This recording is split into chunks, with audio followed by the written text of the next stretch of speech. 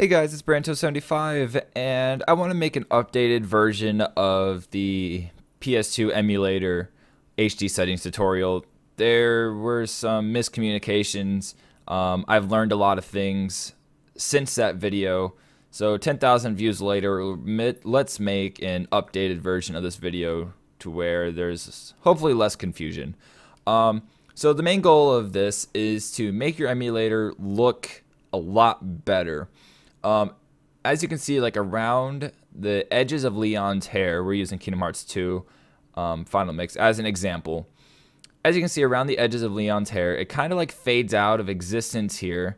Um, there's there's uh, little jaggies all around his hair, around the edges, over here, up there, uh, pretty much around everything. There's little jaggies, and it's not as smooth, and it looks kind of pixelated.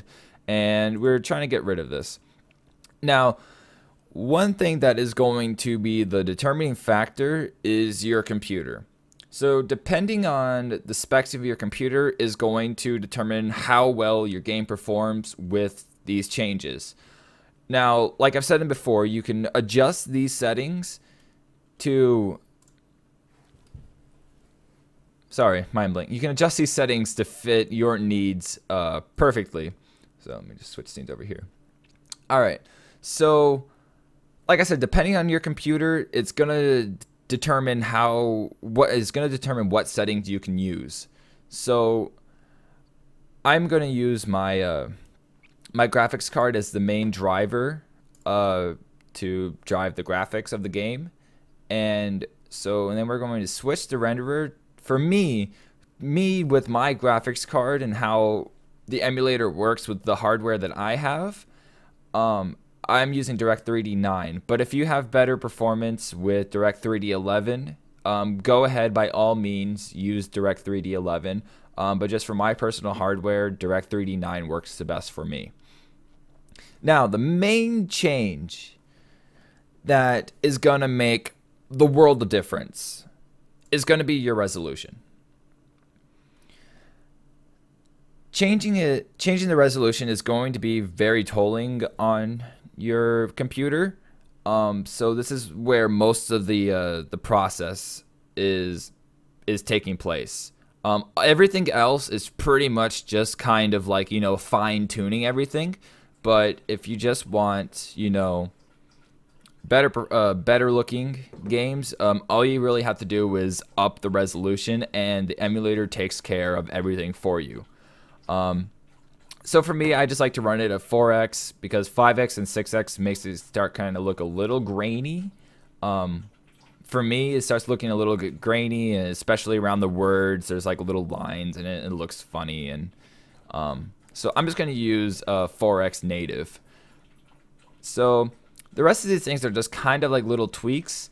I like to enable shade boost. It makes the the shade, uh, the shadows, and other stuff like that just kind of pop a little bit more.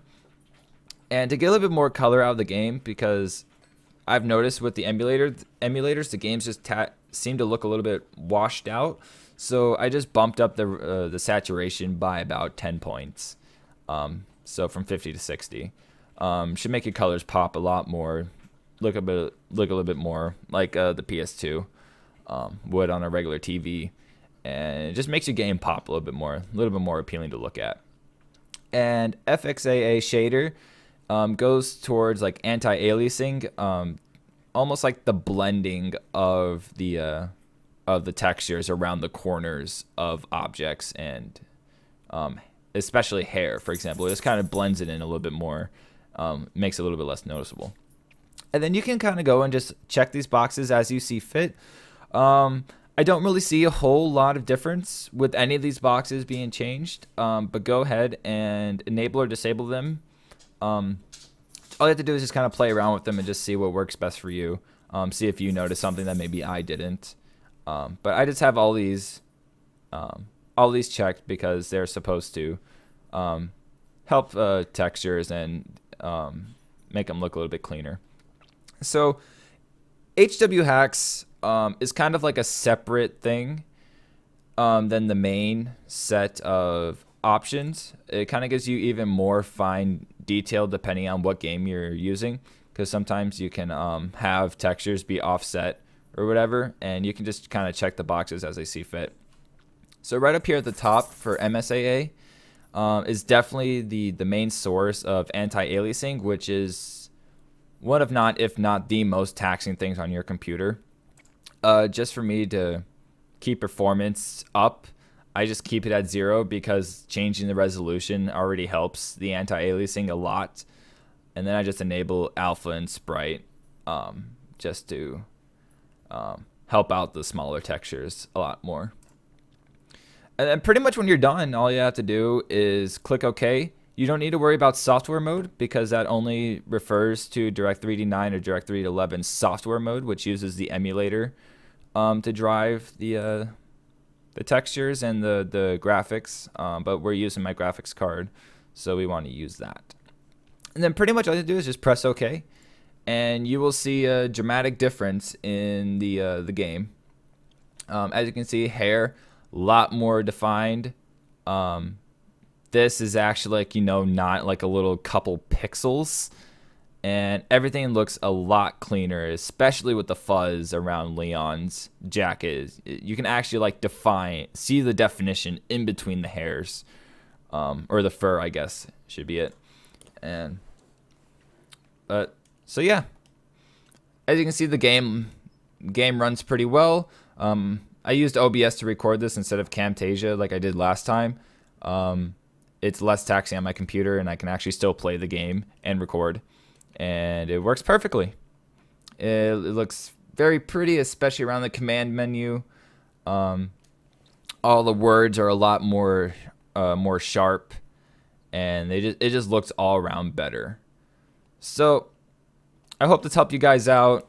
Again, if you have any questions, um, leave them in the comments. I try to check as often as possible. Sometimes I forget that I have a second YouTube channel. And um, so, yeah. All right, guys. Have a nice day. Later.